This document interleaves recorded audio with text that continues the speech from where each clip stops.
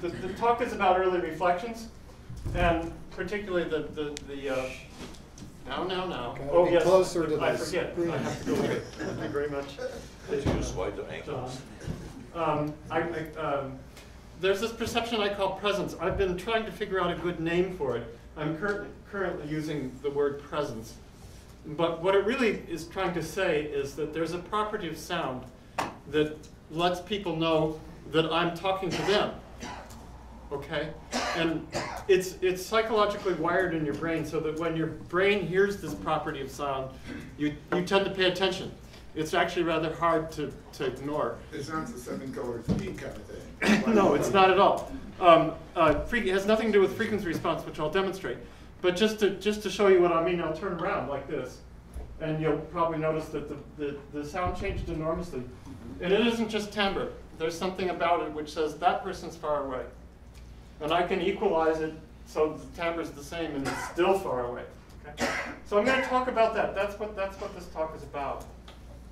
Um, what is this presence and why does it, uh, uh, why does it matter? Sounds are all around us and, and we need to know which ones we have to pay immediate attention to and which ones we can ignore. And some sounds, like gunshots, are loud and inherently threatening. But other kinds of sounds, like me talking, you know in milliseconds, probably 50, 50 to 100 milliseconds, whether I'm close to you or far, far away. Okay?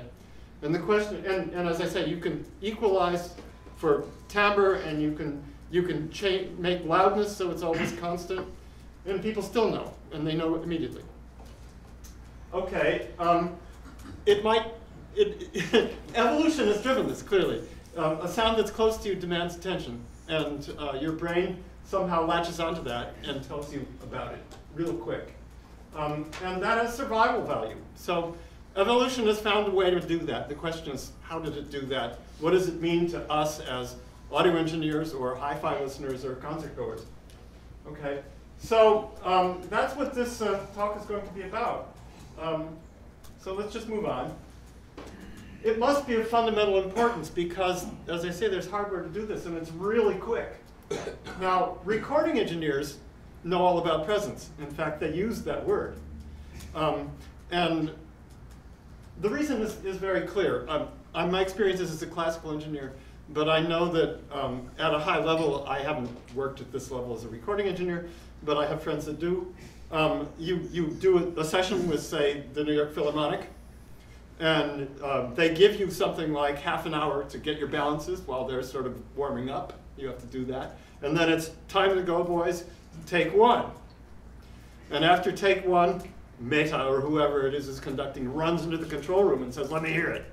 And he says, I can't hear the second oboe, fix it. Okay? He wants presence.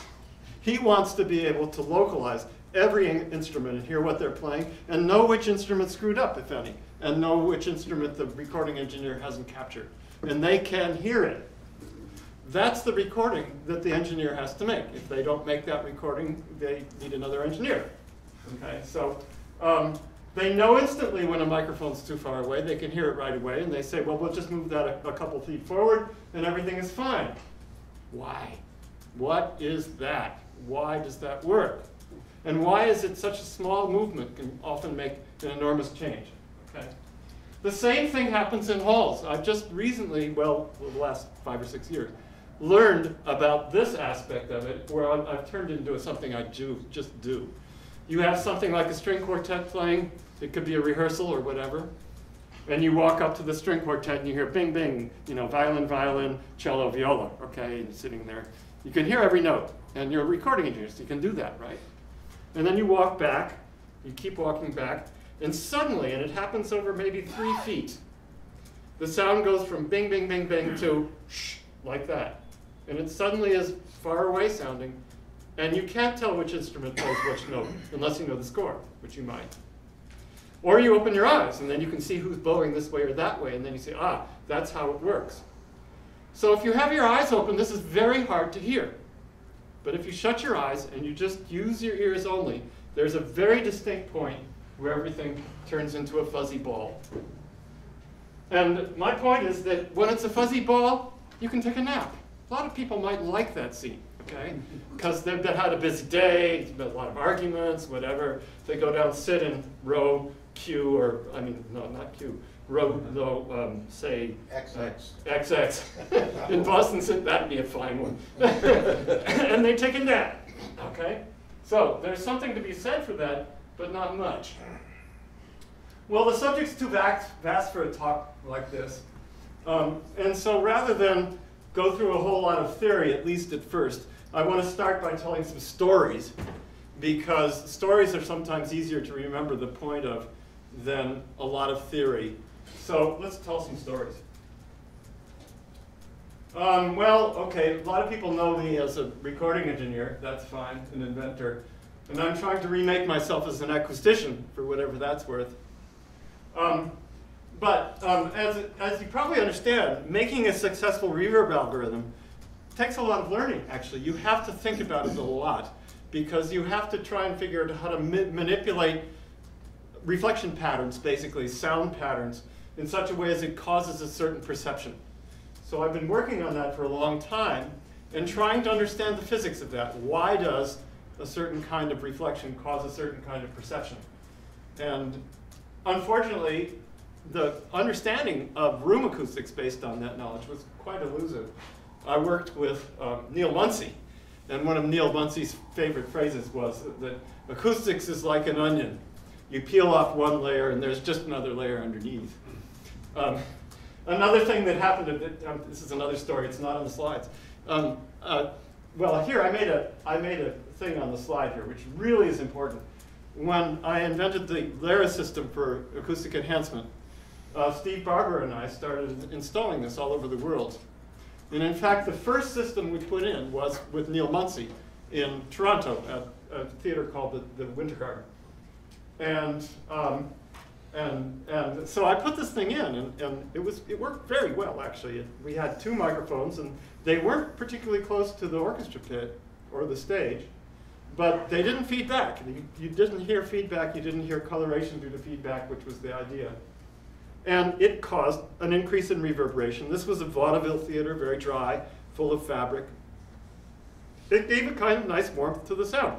People were very happy about that, and so we felt that was great. And uh, John Bradley got interested in it. Now, John Bradley, as you probably know, was in the National Research Council of Canada. He's very well known as somebody who measures concert halls. He sort of uh, developed a lot of the techniques for doing that. There's something called the Concert Hall Research Group, started by Bradley and Beranek.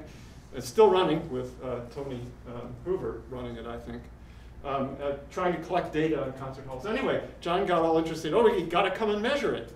So he came to the Winter Garden and set up his equipment and he measured it.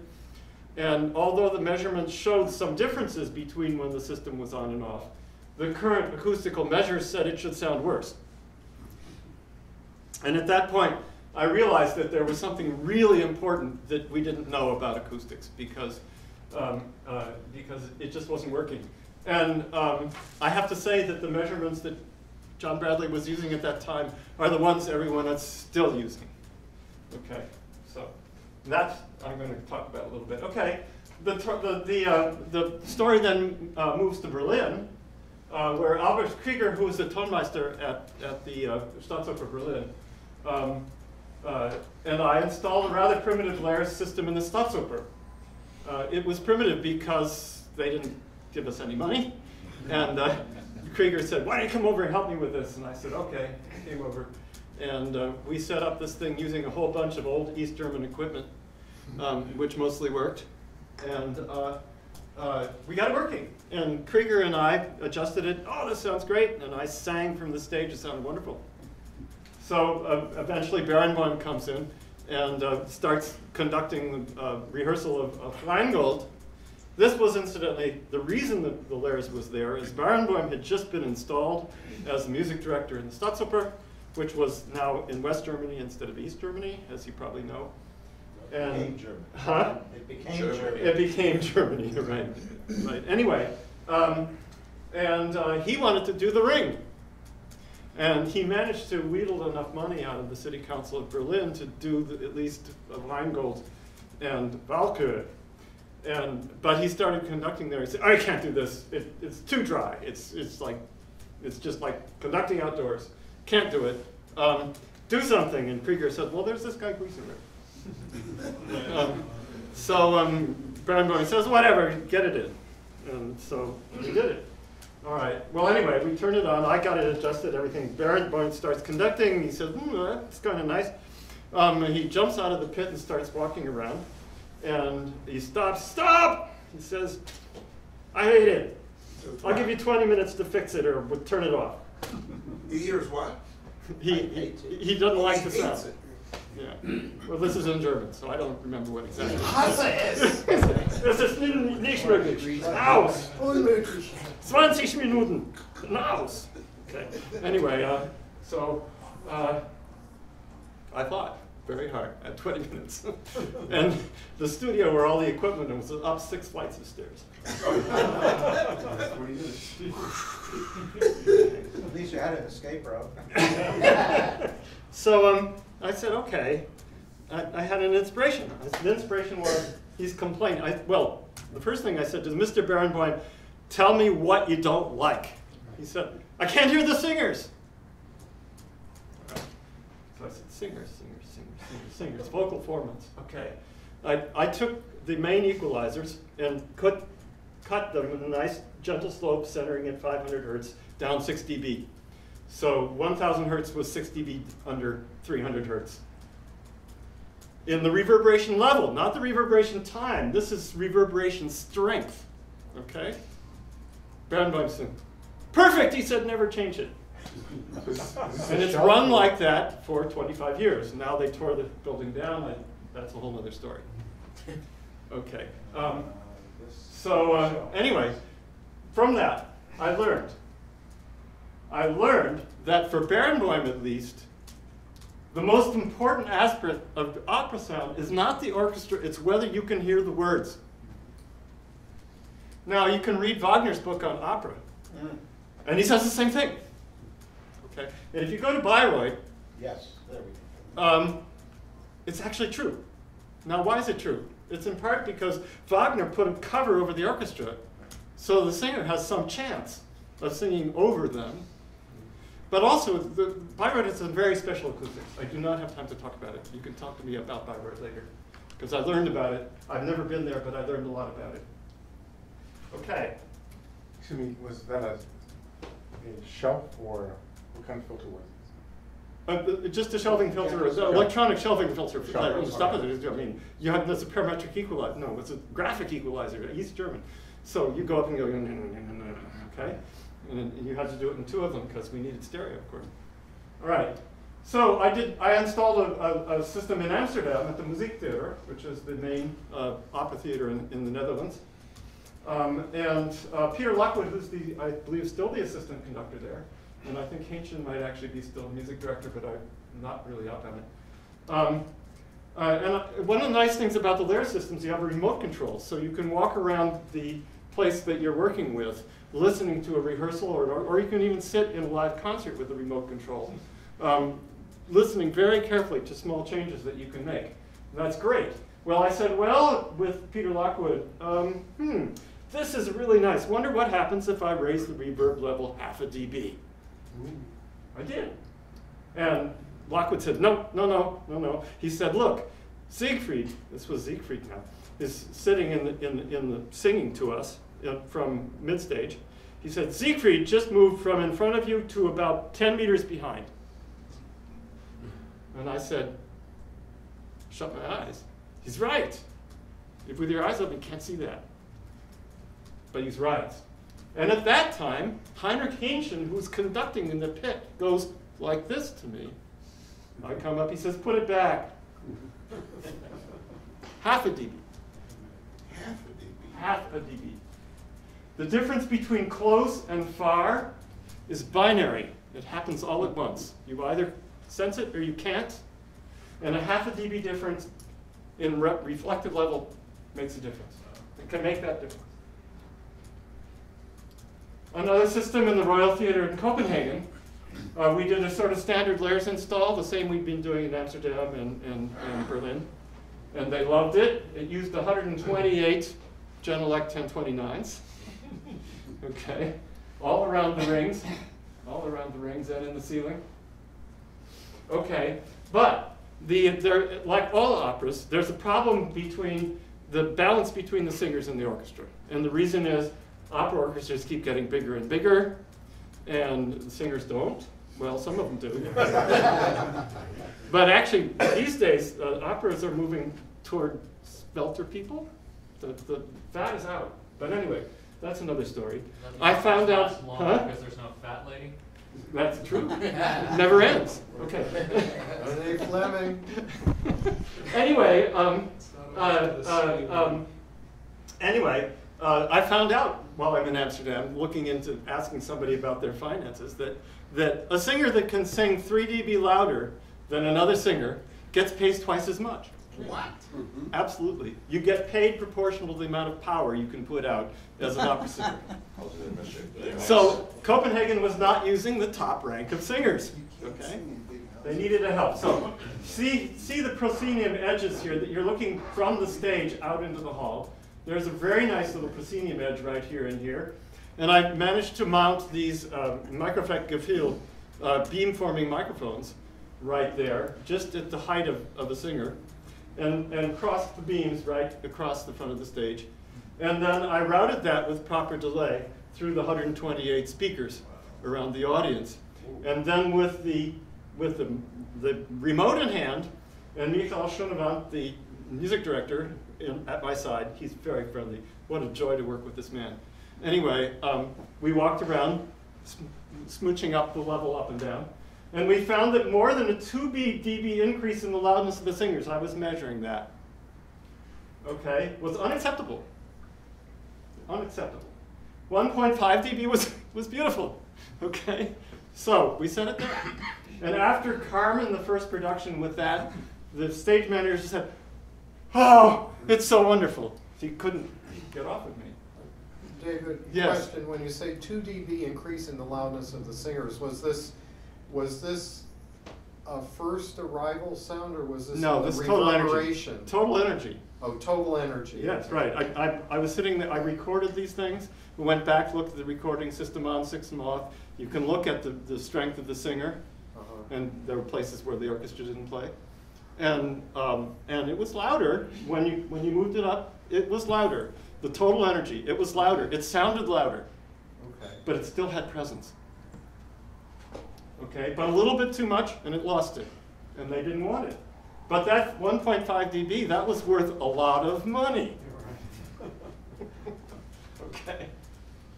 All right. Then they said, well, you do a good job there. Why don't you work on this Copenhagen new stage, which was a shoebox they wanted to use as a drama theater, and they were having trouble hearing the, uh, the actors because you can see it's a shoebox. Shoebox not good for drama in general. Kind of reverberates. But we had 64 Genelecs in there. But you can look in here, you can see there's no proscenium arch. There's no good place to put these microphones. Now at this moment, I do not remember where we ended up putting them, something like here, okay? But we put the beamforming microphones. I said, this is not going to work. It's too far away from the singers. The microphones are going to be putting up too much reverberation. Amplifying that is just going to make it sound worse. But I said, okay, well, maybe we can do something about that. Um, I said, okay, I built a little circuit that turned the microphones on anytime there was a beginning of a syllable. And it turned it off about 100 milliseconds later. Believe it or not, that worked. As long as you didn't push it too hard. It worked. And uh, it made the singers louder, uh, the actors more The actors, louder. yeah. The actors were louder and they were more intelligible. You could understand the words better. So we had five drama directors listen to Chekhov, system turning on every 10 minutes. Uh, live, full audience, live, uh, live show. Result was unanimous, it works, we don't like it, please turn it off. Why? I said, nobody leaves the room until they can tell me why they don't like it. Well, that took another 15 minutes, where they hammed and hawed, and they said, finally, it's because the actors sound further away when you turn the system on.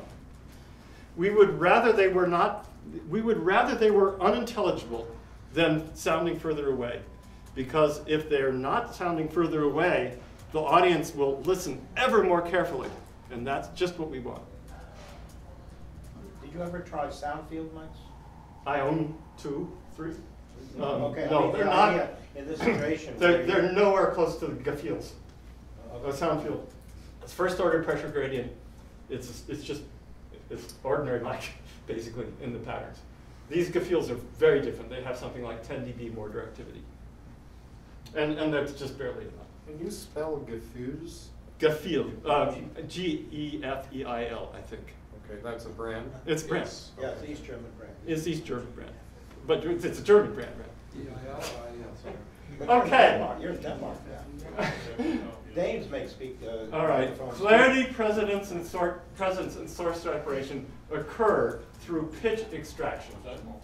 Okay, this is talking about the Copenhagen thing, which I already just said. But, um, the other thing I wanna say here is moving directors know all about this. It, they insist on dry acoustics and highly directional horn loudspeakers for dialogue. And in my experience, the Met HD experience is more engaging and dramatically effective than being live at the Met in most set, in most seats. Why? Because it's so engaging. The sound is wicked cool. Okay, and you might like the video too, but that's not the point.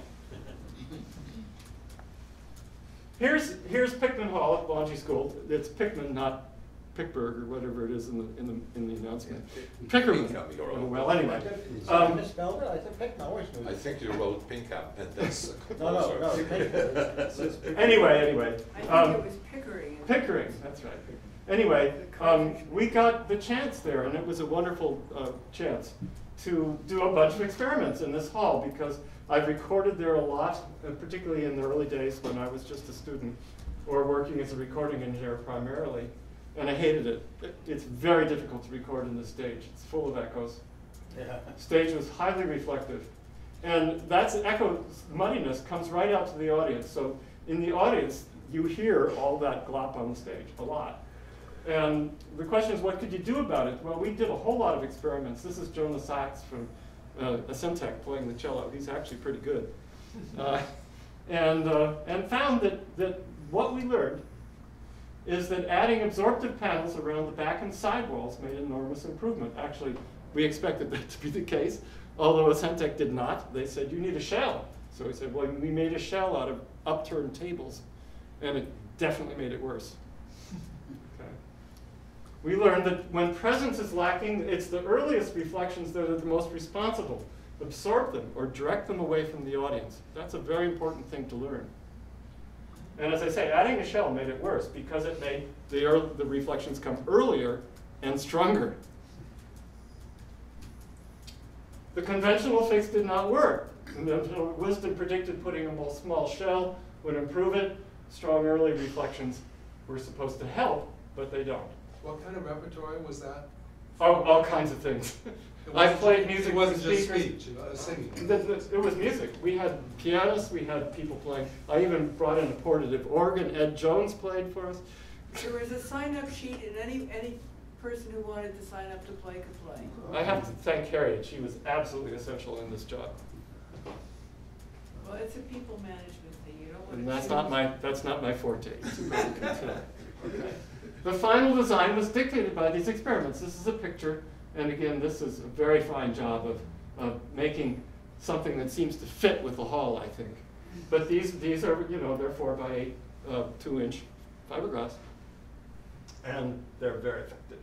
The, the stage is now, the, the, it doesn't have this enormous flutter echo problem. The sound in the hall is clear. It Um, used to be an interesting hall. You sat in the audience and you felt that you sit in front of two speaker system. Was just and all the sound came from the front. Well, anyway, critical lessons we learned. One, presence depends on the ability of the ear and brain to detect the direct sound as separate from the reflections that soon overwhelm it. That's the big lesson, right? So, and, and the first time I started measuring the direct, mentioning the direct sounds at the International Con- Conference for Acoustics, people said, what is the direct sound? We've never heard of that. What? I'm serious. Presence, the clear perception of close distance and sharp localization, is of utmost importance in drama and in much music. Presence is perceived through sound onsets and at frequencies above 5, kilo, 5 hertz, 500 hertz. Actually, 1,000 hertz is a better guess, but I'm, I'm saying 500 just to be safe. The perception of a presence is all or nothing. A very small increase in strength can switch a sound from close to distance. Now, this is interesting. I don't know if a blind person can do better than a sighted person. But with my brain that has a lot of visual stuff going on, I cannot. I make a lot of binaural recordings at concert halls, and if I have in, in my mind the image of what was in front of me when I made the recording, they sound absolutely perfect. If I put them on without calling up that image, the orchestra's right in front of me. It doesn't matter how far away. Even in Boston Symphony, I have wonderful recording from uh, the front of the first balcony, 110 feet in the back. It sounds, the orchestra's right in front of you. It's gorgeous, but it's right in front of you. That's because it's all or nothing. The other thing is you can do that trick in Boston Symphony. The orchestra's playing away, and you walk up to them and you walk back through the aisle with your eyes closed. Okay? The only thing that changes is the or orchestra gets narrower as you walk back. The, the sound of the hall is pretty much the same. It gets, it doesn't even seem to get all that much softer. The loudness goes down a little bit, but the image is changing. That's about it. I can explain that, but maybe not, not in this talk. When reverberation time is not excessive, it's the earliest reflections which are the strongest and closest to the direct sound, which are the most damaging. And then how is it possible that we can do any of this? Well, let's, let's go back up a little bit. What are reflections and why do they, uh, they matter? For our purposes, reflections are delayed copies of information mixed back into an information stream. What is information? What's an information stream?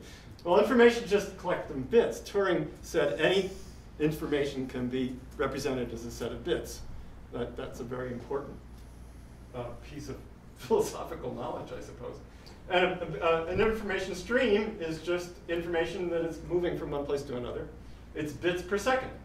Okay, what is the purpose of sound? Well, sound, from an evolutionary standpoint, is all about information. The creature wants to know what's out there, okay? And, you know, the more the information they get, the less they're likely to be eaten. And evolution is really cruel. That's something you learn pretty early. Um, that's why we have such incredibly complex systems. We're, you know, people are, you know, and crickets, they're, up- if you look at life, it's, it's unbelievable. Okay, but it's all about the fact that it's as complicated as it has to be, otherwise it gets eaten. In almost any information channel, reflections are a form of noise. You, anybody who, works with digital circuitry knows all about reflections. And God help you with reflections in a, in a cable, you know, anything, any information stream is corrupted by reflection. Too many reflections will disturb the ability of any creature to detect vital information. Well, I'm not going to go through coding. You all know about coding. You have to code things to get information. But the interesting thing about this coding here is what is speech? How is speech encoded to go through the channel? The channel is, from, is air, you know, but it's noisy. It's full of environmental sounds, other people talking, whatever. Okay, and you need a coding mechanism that gets through that. Well, humans divide the sound spectrum into 31 third octave bands approximately, uh, with a detectable signal of noise in each channel of about 20 dB. That has to do with the nerve firing rate. You only have a certain amount of, of hair cells, and they only fire at a certain rate. You have a certain number of channels. Comes out to be about 20 dB. Okay. Um, uh, but and you know that the number of bits per second in any channel is proportional to channel bandwidth. So, 100, 1,000 hertz band can carry 10 times as much information as a 100 hertz band, obviously. So, high frequency bands are more useful than low frequency bands. Speech information is encoded in the relative amplitude of formant bands above 800 hertz, right? We all know that? I think you all know that. So a vowel is a certain combination of, of resonances, and those bands will be high and other bands will be low. A different vowel will have some bands, other bands high and other bands low.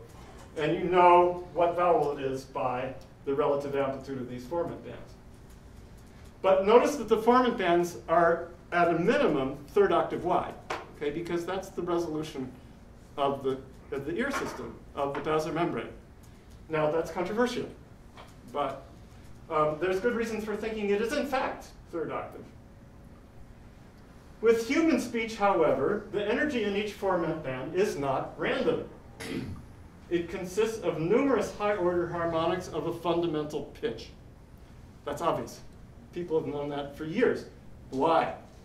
Why do we speak with a high-order harmonics of low-frequency tones? Why? Well, let me just back up. This, I'm just going to point out here the sensitivity of the ear is not accidental. It's heavily weighted to frequencies of the vocal formants. This is the transfer curve from outside the head to the oval window through the bones in the middle ear and the pinna. Notice that there's this huge peak at 3 kilohertz. There's a reason for that. Why? Because that's where all the information is. It's also true that most uh, noise, environmental noise, has a spectrum like this. So you really want to cut that off. And another reason is speech has a spectrum like this. Because the fundamentals are much stronger than the upper harmonics. This curve compensates for all of that. It's not accidental. What's the significance of pitch? Why do we, most animals, communicate with sounds at pitches? Another question is, why can humans tune musical instruments to the accuracy of greater than 1%? Even I can do that. I don't consider myself a musician, really. Okay? Why? Why don't we just play bongo drums? Why do we play violins? Why can we separately understand two simultaneous talkers if their fundamental pictures, pitches are different by half a semitone or more? Why are we better than Siri at understanding speech and noise by at least 10 decibels? The last time I looked it was 20, I'm being safe. Because the ability to separate sounds from each other and from noise is so evolutionarily important that we've evolved a special neurology for performing it. And I happen to be a lone crier in the dark about this right now. It's very hard when I give a talk to this to lots of people, uh, particularly people who've been studying hearing all their lives. I get a lot of pushback that that thing does not exist. We, we know it doesn't exist. We've been looking for such things. We've never found it. I said, well, what signals have you been using to look for it? We've been using tones and clicks, and sometimes noise. You'll never find it. Well, some people thought that also evolution doesn't exist. right. Thank you, Mika, for that great insight. Okay. Well, humans lived in caves where reflections and reverberance are significant barriers to communication. But the mechanisms used to overcome this are likely far older, I think, common to all mammals, certainly, and cert probably to birds, too. Speech and, most music, as you know, is probably front, you probably know is front-loaded. You, you found, find the sound of most phones very quickly at the beginning of it, and the voice may trail off for a while. You may get a little bit more information from that, but mostly front-loaded, yes. I heard the speech was only like 60 or 70,000 years old. That could be. So did all this happened in that short time? No, I don't think so. As I say, I think all of this is really very old. And there aren't that many caves, people had to live in tents or something. Well, okay. I- So this is stupid. I, I won't go there. I, Well, I mean, speech, it's clear to me that speech and hearing and talking evolved concurrently. And I would, as I said, I think the hearing mechanisms common to this are so important that they're everywhere. The question is if we didn't develop the speech capability to, comp- to, co- to complement our hearing. See, that's the. That wouldn't happen. No, I mean. No, for example, I, if you if you listen to different, if you listen to different languages, Yes. they use different part of the spectrum. In not talking, it's the best example here is the Latinos of South America who speak half, half an octave pushed up at least, if not a full octave. We're talking about the fun- fundamentals. Yes. not the formants. The formants are remarkably constant. Okay, and and even even children, they have these high squeaky voices, but the formants are almost where an adult would put them. Foreman? Formants. Formant. A formant is is if you look at a vowel, there's a certain pattern of frequency. These, if you have a sonogram, you can see these really clearly. You go A, E, I, O, U. There's these bands that go different for each one. There's two major formant bands, and and the combination of their frequencies and their amplitudes determines most vowels. Okay. Now English is quite different from Swedish. This is something I learned a long time ago. That the formant patterns of Swedish are exactly in the gaps between the formant patterns for English vowels, which is why it's so damn hard to talk Swedish, so nobody can hear your accent, because the, the way they make vowels is completely different. It's front-loaded, um, but now here's the question. What if there are many talkers all using the same formant bands? They're using the same formant bands, as I say, they're constant. Everybody uses the same ones. Okay, and, and, and the resolution of the ear is only a third of an octave, okay? So the formant bands of one speaker have to overlie the formant bands of another speaker. And we should not be able to separate them, but we can. So here's a summary. Reflections reduce the amount of information that can be detected. Speech consists of short bursts of sound. Speech is information is above 1,000 hertz. Information of these frequencies is carried by the amplitudes of closely spaced harmonics from low frequency tones. Pitch, which is circular in octaves, I didn't say that, but that's really important, is vital to human communication and acoustics. It's vital for both accurate localization and for source separation to detect the direct, it is vital to detect the direct sound as separate from reflections that follow it if you're going to have accurate localization and source separation. These facts seem obvious, but they're not Question? commonly dealt with. Yes. Why is pitch circular in octaves? I, I will try to talk about that. But it's important, clear for understanding the neurology with which we detect it. The point is that we detect pitch to very high accuracy. The basilar membrane has accuracy of third octave. Mm. If you had a mechanism that was circular in octaves, that would give you a way of knowing the frequency of everything, okay? But your sense of pitch being located in the mechanism that's circular in octaves would be perceived as circular in octave, and it is.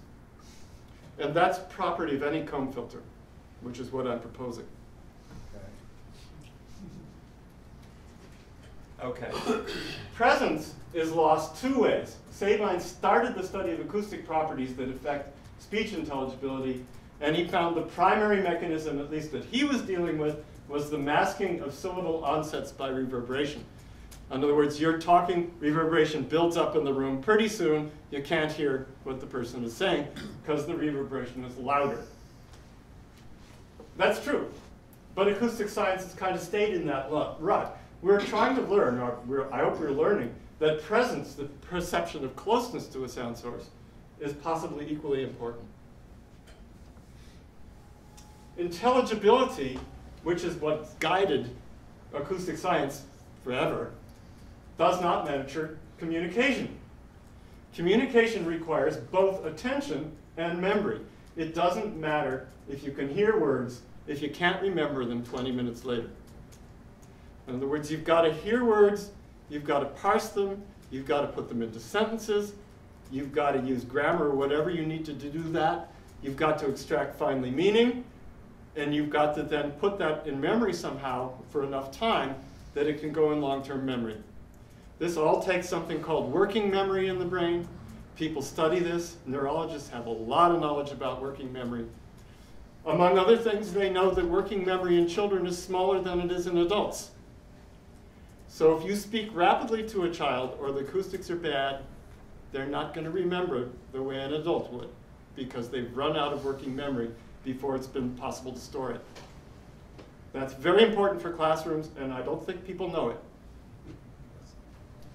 So I've developed a measure LOC for ability to localize sounds. I'm not going to talk about it, there's really not time, but I'll sketch, I'll show it like right quick. An another factor in the obsession with the beneficial effects of early reflections is laboratory tests of single reflections, which have dominated acoustic science. So you start with Haas and a lot of other people talking about the audibility of reflections. That's all here. Um, this is uh, Michael Barron's spatial impression diagram. The important thing about both of these is basically, well, a little bit less here, but notice that, notice that the zero is here. The maximum level that he was testing was about plus five relative to the direct sound. Okay, a single reflection, five dB louder than the direct sound. Well, what happens in a hall? You go into Boston Symphony, almost any seat you pick is what? The, the, the critical distance is 20, 20 feet, okay? So if you're at 60 feet, it's down more than 10 dB. Okay, so the reflected energy in halls is typically much higher than the direct sound energy. And these diagrams simply don't apply. First of all, they're single reflections. Second of all, they have the wrong axes. And they have a, an, another inherent danger. They all make the assumption that data from a single uh, reflection experiment would actually apply to a hall. And I'm trying to make the point that it doesn't. Toole, Floyd, he, I like Toole, Floyd, I worked with him for years. um, he, in his book, makes the explicit assumption that if a single reflection is below a threshold of audibility, this is the threshold of audibility, then you can ignore it. It doesn't count because it's not audible. That's just plain silly. what, what if there are a thousand reflections below that threshold? You still can't hear them? Nah. You never have a single reflection. This is a, uh, an impulse response from the Longy-Pickman Hall. Uh, this is the direct sound. This is your reflections. This is 100 milliseconds right here. Okay? And by about here, this is noise. You can't possibly distinguish a single reflection in that. And this is an impulse response, which means it's white frequency response. It means that what you're seeing here is almost entirely above 10 kilohertz. But you can't see the reflections. It's just too many. But you can, you can, you can integrate them. So if, if I go back to that impulse response and I say, well, I'm going to I'm going to send a note through that by convolving it, this is the direct sound, okay? It has a certain level. And then reflections will cause the level to build up as the note is held. okay, so here's the direct sound pressure from that note. And here's the reflections building up as, as energy and the reflections get added to the note, okay? And you can see that up here it goes to about zero, which means that right here at about, what, 23 milliseconds, the reflected energy is equal to the direct sound, and then it gets uh, 8 dB higher. Okay? Now, my measure LOC is simply the ratio of the area under the blue line to the area under the red line inside the box. And you can see the area of this is just a little bit higher than the area of that. And so the, the direct sound, the LOC value is minus 1, which is not good. But this was an omnidirectional source, and most instruments and voices are not omnidirectional. So if you add that in, it's not too bad. How about in a hi-fi listening room? well, Ted Schultz, thank God for Ted Schultz. I wish I knew him, but he died before I really was cognizant of him. Anyway, uh, he measured a whole lot of listening rooms in the Boston area, and he found that, in general, the chosen listening position was very close to the critical distance, which means in most listening rooms, you're about here on this curve. And you can see that very quickly, the, the total energy, if a note is held in such a room, goes up very fast. And your only chance of hearing the direct sound happens in this first 10 milliseconds. So it's not very likely. But if you have a directional speaker, if you have quads or a large horn or Magneplanars or whatever, um, then this room would have very good imaging. Okay, but for omnidirectional speakers like Bose's, um, forget it. Convenient untruths. Early loud reflections add spatial impression, creating a more beautiful sound. That's an untruth. Early reflect, it's, well, it's, it is actually true if they're not too many. You have to keep them below the level where the direct sound is still detectable. And then they do, in fact, make a more beautiful sound. That's no question about it. Early reflections from the front and overhead add loudness to the sound without disturbing the direct sound I didn't put in here, if they come before 50 milliseconds. That's a very common untruth. Sound reinforcement relies on this assumption that properly delayed frontal and overhead speakers can beneficially amplify almost any event. And they get a lot of money out of that. But is louder really better? And should we be doing that at all? Okay, here I'm going to finally get around to playing some audio. All current measures say that this, this sound, I'm, I'm taking the speech here, that this is the speech, and I'm going to send it through this impulse response, which happens to be all pass. So it doesn't change the frequency response or the amplitude at all, okay? Um, and I'll, I'll just play this. Actually, I'm going to play it again. This one, it, it plays through two loudspeakers, and that's not optimal, as, as maybe you'll see. Should I put it on mono or? No, that would make it worse. well, it is mono, so that's not a problem. present, very clear. However, if I scramble the harmonics above 1000 hertz, the sound is very different. It might be perceived as distant or muddy. Let me start that from the beginning. It seemed to have already been going. So the first part of this is unscrambled. If I record my voice with a microphone close to my mouth, the sound is very close to the ear of the listener. Present, very clear. However, if I scramble the harmonics above 1000 hertz, the sound is very different. It might be perceived as distant or muddy. Okay, that, that, all current acoustical measures says, say that both sounds are identical. And that, that that's basically perfect sound. And I'm, I'm trying to say that that's just not true. And the, the sound has no presence because the, this IR randomizes the phases above harmonic, harmonics above 1,000 hertz. Uh, I can demonstrate that actually. Um, uh, I have a model which I tried to model um, the inner ear, and this consists of a lot of um, standard things that everybody knows, followed by set of comb filters. And if you can get the comb filters to track a voice, then you can separate them. So you track one voice, track another one with comb filters, and you can separate them. So here, here is dry monotone spe uh, speech. I am speaking in a monotone at a pitch of C below middle C. Okay, and uh, I add to this a, a second voice, my own voice, same timbre, but a semitone higher. I am speaking in a monotone at a pitch of C below middle C, instantly recognizable as my voice. It is easy to understand every word as clear. Okay. Um, now the question is, can you actually pull them apart with comb filters?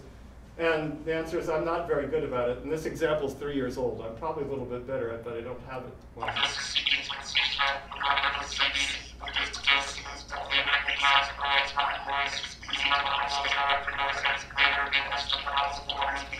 no, that's enough of that. Let's try this one.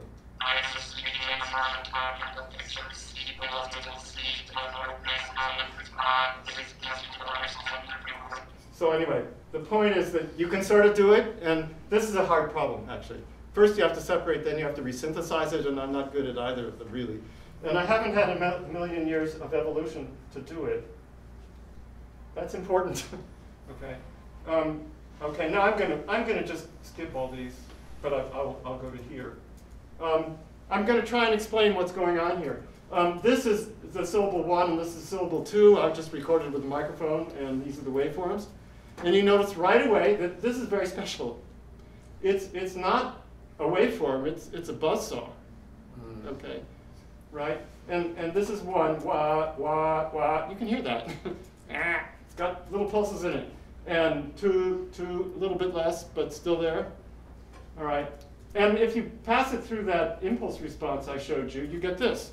All right, well, what about that? So let's play it. Oh, this, this, is, this is the same thing I played before, but it's just the left channel. Well, I'm going to play just this a little bit first. If I record my voice with a microphone close to my mouth, Okay, now I'm going to play this one. This is just one speaker. One, two, three. Oh. One, two, three. Oh, it's a different thing. Sorry, not the right demonstration. Ah, sorry, I screwed it up. I wanted to play this through just one speaker. Replaying something with two speakers in a room like this is always worth for presence than just one.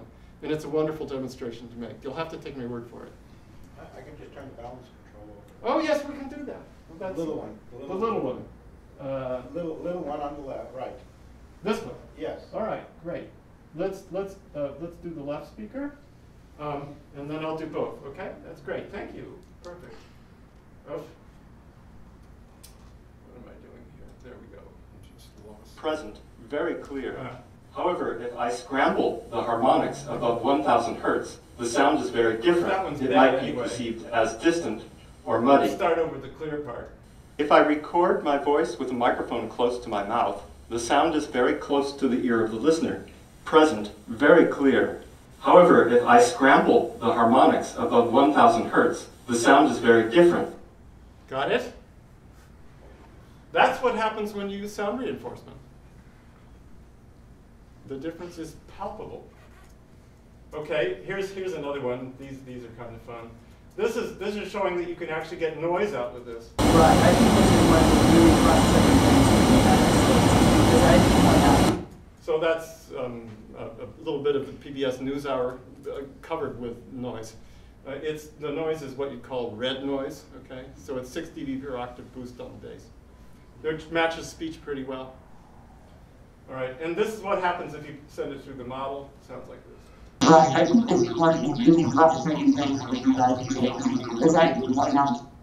Not perfect, but interesting. Um, this one is um, the same speech but with reverberation. It's- thanks to the United States, is because I think what happened That actually is recorded from the balcony of Sanders Theater with full with full audience. Well, actually, it was there was no audience, but I made an impulse response and then I exponentially changed it to 1.4 seconds, which would match the full audience. With no audience, it's 2.4 seconds in there. That's another story. Maybe I'll get to it. It's a disaster. And this is what happens if you if you send it through the model. Right, this is one of the really frustrating things with the United States, because I think what happened Okay, well, anyway, I'm just trying to show that these FIRs actually do something. Now, this is the signal that goes, that, that this comes out of the sum of uh, critical bands from 1,000 hertz to 200, to 2,500 hertz in the model. And you can see that they're incredibly spiky. All right, so summing bands in this way with the fil- filters that I use um, results in an enormous number of really sharp spikes. And that's important. Um, and this is what happens if we if we send it through the the the, uh, the, the phase randomizing filter. It looks completely different. Now let's let's uh, let's see if we can hear it. Okay, this is this the, s- the sound is one two three. It it it does the first three is this and the second three is that. The first three you'll find has pitch you can actually hear what it's saying. And the second one sounds like a whisper. Okay, I'm saying that that's why you can hear something that's close or far away. Because when you get these little spikes, the ear knows. This, this has pitch. And this sounds like a whisper, and it knows. Oh, this is the model, we don't have to go into this. That's the FIR that you're using, that I'm using. This shows the frequency resolution of it. This is a, a, a major triad, 200, 250, 300 hertz. And you can see these are 200, 250, 300 hertz. And then if, if I do it, uh, if I if I lower the, uh, if I do it it with the uh, with uh, the the uh, well, if I use these patterns. It's the fifth is lowered by an octave, so it's 200, 250, and 150. It's exactly the same pattern, except now there's a big speak at 150, which is why inversions of triads sound basically the same. That's because they affect comb filters in this way. Okay, summary of the model. We have separated signals from a number of sources into separate neural streams, each containing the modulations received from that source. These modulations can be carried across bands to detect timbre. IAD and ILD can be found for each source independently once they've been separated. That's the power of these FIRs.